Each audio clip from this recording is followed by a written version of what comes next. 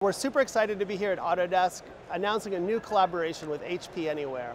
Enscape is the leading real-time rendering program for AEC visualization.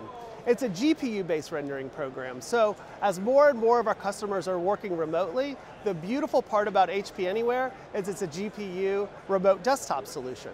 So our clients can run Enscape and Revit on anywhere at 4K resolution and full frame rate, lossless. It's a wonderful solution for any architect or designer that's really looking to use Enscape and Revit collaboratively and remotely.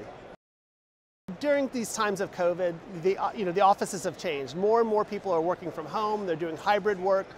The benefit that HP Anyware offers our customers is the ability to really run Enscape anywhere. So this idea that they could um, log into their laptop, log into their desktop through HP Anyware, and really run Enscape and Revit effectively, it's, it's a massive improvement over today's workflow.